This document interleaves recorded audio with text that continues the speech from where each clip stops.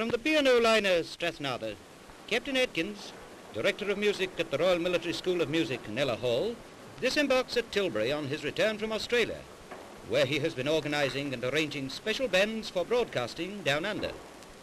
On coming ashore, he was greeted by the Commandant of the school, Colonel H.S. Jervis.